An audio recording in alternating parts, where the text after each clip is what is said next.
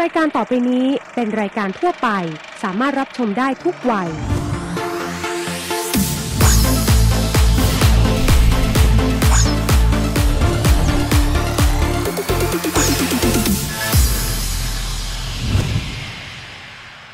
สวัสดีค่ะ กลับมาพบกันอีกครั้งนะคะ กับโครงการกบจูเนียร์ปี9 Thailand 4.0 ค่ะ โครงการที่เปิดโอกาสให้น้องๆเยาวชนไทยนะคะ ได้ออกมาเรียนรู้นอกห้องเรียนค่ะ บันทึกนะคะ แล้วก็ถ่ายทอดเรื่องราวนะคะ ผ่านผลงานสื่อสร้างสรรค์ที่บอกเล่าเรื่องราวตามแผนพัฒนาเศรษฐกิจ Thailand 4.0 ค่ะ ในวันนี้นะคะเป็นผลงานของน้องๆจากโรงเรียนสุรพินพิทยาจังหวัดสุรินทร์ค่ะ ที่จะพาคุณผู้ชมนะคะทะลุมิติไปยังอีกดินแดนหนึ่งนะคะ ที่มีพลังงานที่สำคัญที่ทั่วโลกต้องการอย่างน้ำมันอยู่เต็มเบี้ยบ้ายไหลทางสองข้างทางเลยนะคะ ว่าแต่ดินแดนพิเศษนี้จะอยู่ที่ไหน ตามไปชมพร้อม ๆ กันในผลงานที่มีชื่อว่ายางนาบ่อน้ำมันบนดินของไทยในยุค 4.0 กันเลยค่ะ ราคาน้ำมันสูงขึ้นทุกๆวัน จะมีทางใดบ้างนะที่จะได้น้ำมันมาโดยไม่ต้องซื้อ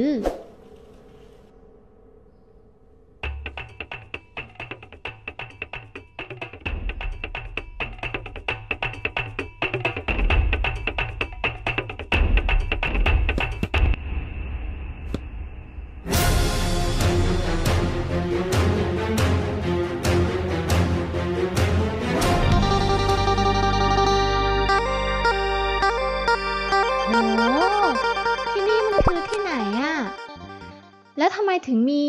นี่ นี่ แล้วก็นี่เต็มไปหมดเลย ว่าแต่มันคืออะไรนะ นี่อะเขาเรียกน้ำมันจากยางนา น้ำมันยางนาจะอยู่ถัดจากเนื้อเยื่อเจริญเข้าไปในเนื้อไม้ พบได้ในทุกส่วนของต้นยางนา แม้กระทั่งใบ แล้วเราจะเอาน้ำมันจากต้นยางนาออกมาได้อย่างไรล่ะ เราจึงมีวิธีการเจาะทำมุม 45 องศา ลึกประมาณ 2 ใน 3 ส่วนของขนาดต้น ซึ่งปากรูทางออกก็จะมีภาชนะสำหรับเก็บแขวนอยู่ จะให้น้ำมันประมาณ 400 มิลลิลิตรต่อวัน แล้วก็ต่อรูด้วย ไม่ทิ้งบาดแผลให้ต้นไม้ด้วยนะ ในยุค Thailand 4.0 เราได้มีการวิจัยพัฒนา โดยใช้นวัตกรรมเครื่องกลั่นน้ำมัน เพื่อที่เราจะสามารถใช้น้ำมันจากยางนา ได้อย่างมีประสิทธิภาพ โหยาฉันไปดูกระบวนการกลั่นน้ำมันจากต้นยางนาหน่อยได้ไหม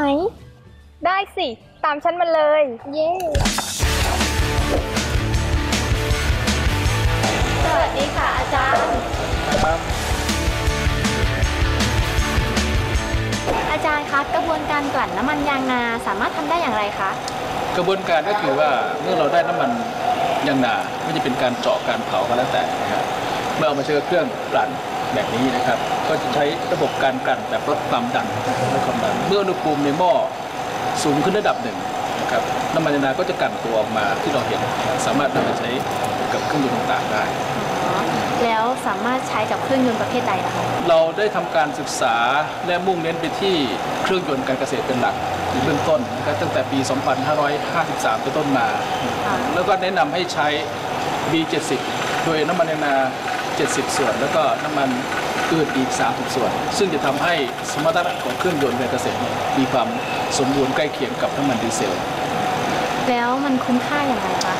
ถ้ามองความคุ้มค่าในแง่ตัวเงินที่ใช้ในการผลิตน้ำมันยางนาเกรดบริสุทธิ์นี้ก็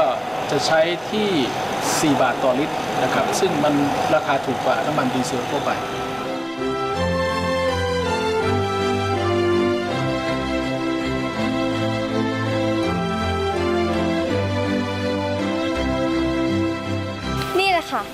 มันจากยางนา พลังงานใหม่ที่พัฒนาต่อยอดจากภูมิปัญญาชาวบ้าน